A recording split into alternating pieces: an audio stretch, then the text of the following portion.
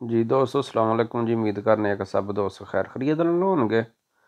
ਤੇ ਅੱਜ ਅਸੀਂ ਦੋਸਤਾਂ ਦੇ ਜਿਹੜੇ ਕਮੈਂਟ ਆਏ ਦੇ ਨੇ, ਉਹਨਾਂ ਦੇ ਜਵਾਬ ਦਵਾਂਗੇ।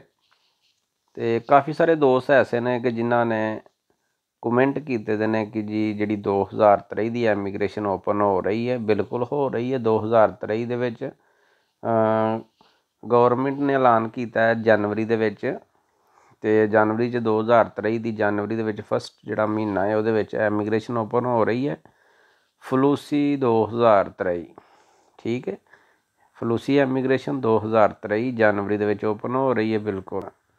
ਤੇ ਦੋਸਤਾਂ ਦੇ ਕਮੈਂਟ ਜਿਹੜੇ ਆਏ ਦੇ ਸਨ, ਉਹਨਾਂ ਕਿਹਾ ਸੀ ਇਹਦੇ ਵਿੱਚ ਜੀ ਕਿਹੜਾ ਕਿਹੜਾ ਬੰਦਾ ਅਪਲਾਈ ਕਰ ਸਕਦਾ। ਬਿਲਕੁਲ ਅਸੀਂ ਆਪਣੇ ਪਾਕਿਸਤਾਨ ਤੋਂ ਤੁਸੀਂ ਅਪਲਾਈ ਕਰ ਸਕਦੇ ਹੋ, ਇੰਡੀਆ, ਬੰਗਲਾਦੇਸ਼ ਤੋਂ। ਲੇਕਿਨ ਇਹਦੇ ਵਿੱਚ ਇਹ ਹੈ ਕਿ ਜਿਹੜੀ ਸੁਣਨ ਗੱਲ ਆ ਰਹੀ ਹੈ ਕਿ ਇਹਦੇ ਵਿੱਚ 70% ਜਿਹੜਾ ਕੋਟਾ ਵੇ, ਉਹ ਅਫਰੀਕਨ ਨੂੰ ਦਿੱਤਾ ਜਾ ਰਿਹਾ ਅਫਰੀਕਨ ਜਿਹੜੀ ਕੰਟਰੀ ਹੈ ਉਹਨਾਂ ਨੂੰ ਦਿੱਤਾ ਜਾ ਰਿਹਾ 70% ਤੇ ਬਾਕੀ ਕੁਝ ਪਰਸੈਂਟ ਜਿਹੜਾ ਵੇ, ਕੁਝ ਪਾਕਿਸਤਾਨ, ਇੰਡੀਆ, ਬੰਗਲਾਦੇਸ਼ ਨੂੰ ਦਿੱਤਾ ਜਾ ਰਿਹਾ ਠੀਕ ਹੈ? ਤੇ ਇਹਦੇ ਵਿੱਚ ਬਿਲਕੁਲ ਹਰ ਬੰਦਾ ਅਪਲਾਈ ਕਰ ਸਕਦਾ ਵੇ ਤੇ ਅਪਲਾਈ ਕਰਨ ਤੋਂ ਬਾਅਦ ਜਿਸ ਟਾਈਮ ਤੁਹਾਡੇ ਇੱਥੋਂ ਨੂੰ ਲਿਓਸ ਤੇ ਕਲੀਅਰ ਹੋ ਜਾਂਦੇ ਤੁਹਾਡੀ ਇਮੀਗ੍ਰੇਸ਼ਨ ਕਲੀਅਰ ਹੋ ਜਾਂਦੀ ਹੈ। ਉਸ ਤੋਂ ਬਾਅਦ ਤੁਹਾਡੀ ਆਪਣੀ ਕੰਟਰੀ ਦੇ ਵਿੱਚ ਜਿਹੜੇ ਤੁਹਾਡੇ ਡਾਕੂਮੈਂਟ ਨੇ ਉਹ ਜਮ੍ਹਾਂ ਹੋਈ ਜਾਂਦੇ ਨੇ ਇਟਾਲੀ ਐਮਬੈਸੀ ਦੇ ਵਿੱਚ ਤੇ ਉਸ ਤੋਂ ਬਾਅਦ ਉਹ ਪ੍ਰੋਸੈਸ ਟਾਈਮ ਜਿਹੜਾ ਲੱਗ ਜਾਂਦਾ ਵੇ, ਉਹਦੇ ਚ ਸਾਲ ਵੀ ਲੱਗ ਸਕਦਾ 2 ਸਾਲ ਵੀ ਲੱਗ ਸਕਦੇ ਨੇ 6 ਮਹੀਨੇ ਵੀ ਲੱਗ ਸਕਦੇ ਨੇ। ਠੀਕ ਹੈ? ਤੇ ਇਹ ਜਿਸ ਟਾਈਮ ਤੁਸੀਂ ਤੁਹਾਡਾ ਨੋਲਾ ਉਸ ਇੱਥੋਂ ਚਲਾ ਜਾਂਦਾ ਵੇ ਇਟਲੀ ਦੇ ਵਿੱਚੋਂ ਤੇ ਅਗਰ ਤੁਸੀਂ ਦੁਬਈ ਹੋ ਮਸਕਤ ਤੋਂ ਮਲੇਸ਼ੀਆ ਵੇ ਕਿਸੇ ਵੀ ਜਗ੍ਹਾ ਤੋਂ ਉੱਥੋਂ ਤੁਸੀਂ ਅਪਲਾਈ ਨਹੀਂ ਕਰ ਸਕਦੇ। ਨੋਲਾ ਹਾਊਸ ਜਿਸ ਟਾਈਮ ਤੁਹਾਡਾ ਜਾਂਦਾ ਵੇ ਤੇ ਤੁਸੀਂ ਮਸਟ ਆਪਣੀ ਕੰਟਰੀ 'ਚ ਵਾਪਸ ਜਾਣਾ ਜਿਸ ਕੰਟਰੀ ਦੇ ਵਿੱਚ ਤੁਸੀਂ ਹੈ ਹੋ ਹੋਮ ਕੰਟਰੀ ਵਾਪਸ ਜਾ ਕੇ ਤੇ ਉੱਥੋਂ ਤੁਸੀਂ ਆਪਣਾ ਜਿਹੜਾ ਪ੍ਰੋਸੈਸ ਹੈ ਉਹ ਕਰੋਗੇ। ਠੀਕ ਹੈ? ਤੇ ਇਹਦੇ ਵਿੱਚ ਜਿਹੜਾ ਵੇ ਅ 100% ਜਿਹੜਾ ਕੋਟਾ ਵੇ, ਉਹ ਤੇ ਜ਼ਾਰੀ ਬਾਤ ਹੈ। ਅਗਰ ਫਾਰ ਐਗਜ਼ਾਮਪਲ 80000 ਜਾਂ 70 75000 ਬੰਦੇ ਵਾਸਤੇ ਖੁੱਲਦੀ ਹੈ ਵੀ ਤੇ ਇਹਦੇ ਵਿੱਚ ਤਕਰੀਬਨ ਮਿਲੋ ਕੇ 2 ਲੱਖ ਜਾਂ 4 ਲੱਖ ਬੰਦਾ ਅਪਲਾਈ ਕਰਦਾ ਤੇ ਜ਼ਾਰੀ ਗੱਲ ਜਿੰਨਿਆਂ ਬੰਦਿਆਂ ਵਾਸਤੇ ਉਹਨਾਂ ਓਪਨ ਕੀਤੀ ਦੀ ਹੈ, ਉਹਨਾਂ, ਉਹਨਿਆਂ ਬੰਦਿਆਂ ਨੂੰ ਹੀ ਮਿਲੇਗੀ। ਔਰ ਕਈ ਬੰਦੇ ਐਸੇ ਹੁੰਦੇ ਨੇ ਕਿ ਜਿਨ੍ਹਾਂ ਦੀ ਰਿਜੈਕਟ ਵੀ ਹੋ ਜਾਂਦੀ ਹੈ ਰਿਫਿਊਜ਼ ਵੀ ਹੋ ਜਾਂਦੀ ਹੈ। ਉਹਦੇ ਵਿੱਚ ਬੰਦੇ ਦਾ ਕਸੂਰ ਨਹੀਂ ਹੁੰਦਾ, ਉਹਦੇ 'ਚ ਜਿਹੜਾ ਕਸੂਰ ਹੁੰਦਾ ਉਹ ਮਾਲਕ ਦਾ ਹੁੰਦਾ ਹੈ ਜਿਨੇ ਅਪਲਾਈ ਕੀਤੀ ਹੁੰਦੀ ਹੈ। ਉਹਦੇ ਤੇ ਅਗਰ ਕੋਈ ਕ੍ਰਿਮੀਨਲ ਕੇਸ ਹੋਵੇ ਜਾਂ ਉਹਨੇ ਕੋਈ ਗਵਰਨਮੈਂਟ ਦਾ ਜਿਹੜਾ ਨਾ ਕਾਫੀ ਰਕਮ ਦੇਣੀ ਹੋਵੇ ਤੇ ਉਸ ਬਿਨਾ ਦੇ ਆ ਕੇ ਉਹਦੀ ਰਿਫਿਊਜ਼ ਵੀ ਹੋ ਸਕਦੀ ਹੈ ਠੀਕ ਹੈ ਜੀ। ਤੇ ਇਹਦੇ ਵਿੱਚ ਬੰਦਾ ਕੁਝ ਨਹੀਂ ਕਹਿ ਸਕਦਾ। ਦੂਸਰੇ ਨੰਬਰ ਤੇ ਜਿਹੜੇ ਦੋਸਤਾਂ ਦੇ ਕਮੈਂਟ ਆਏ ਦੇ ਨੇ, ਜੀ ਜਿਹੜੀ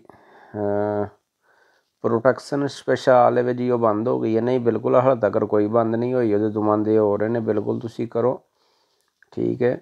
ਤੇ ਅਗਰ ਤੂੰ ਤੁਹਾਡਾ ਜਿਹੜਾ, ਜਿਹੜੀ ਸਪੈਸ਼ਲ ਪ੍ਰੋਟੈਕਸ਼ਨ ਸਪੈਸ਼ਲ ਹੈ ਨਾ ਉਹ ਮੇਨ ਉਹਨਾਂ ਦੋਸਤਾਂ ਵਾਸਤੇ ਵੇ ਕਿ ਜਿਹੜੇ ਇਟਲੀ ਦੇ ਵਿੱਚ ਰਹਿ ਰਹੇ ਨੇ, ਜਿਨ੍ਹਾਂ ਆਪਣੀ ਇੱਥੇ ਰਿਫਿਊਜੀ ਲਈ ਦੀ ਹੈ ਅਜ਼ੀਲ ਕੀਤੀ ਦੀ ਹੈ ਉਹਨਾਂ ਦਾ ਕਮਿਸ਼ਨ ਆਇਆ ਤੇ ਉਹਨਾਂ ਦਾ ਕਮਿਸ਼ਨ ਉੱਡ ਗਿਆ ਵੇ। ਉਹਨਾਂ ਦਾ ਕਮਿਸ਼ਨ ਆਊਟ ਹੋ ਗਿਆ ਔਰ ਉਹਨਾਂ ਅੱਗੋਂ ਦੁਬਾਰਾ ਜਿਹੜੀ ਹੈ ਅਪੀਲ ਨਹੀਂ ਕੀਤੀ।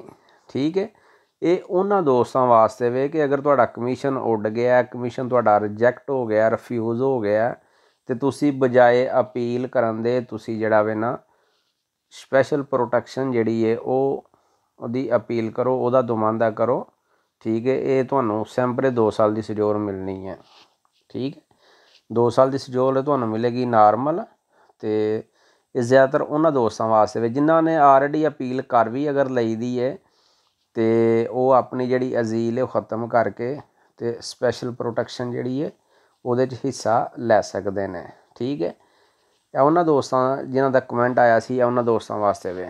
ਠੀਕ ਹੈ?